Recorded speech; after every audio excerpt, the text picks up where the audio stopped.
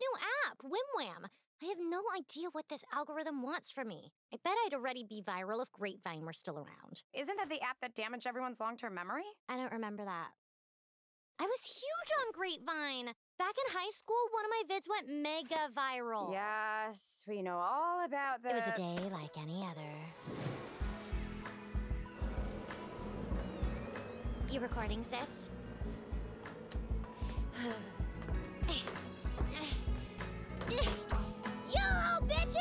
2014 for life! when Grapevine got axed, so did my video. I bet if I posted that to WimWham, it'd go crazy. That's it! I'll recreate my viral video! We're going to Santa Monica! Seriously? You know how much of a hassle it is to get over there? Would you rather live your life in fear of getting Putin-esque? Fine, we'll go.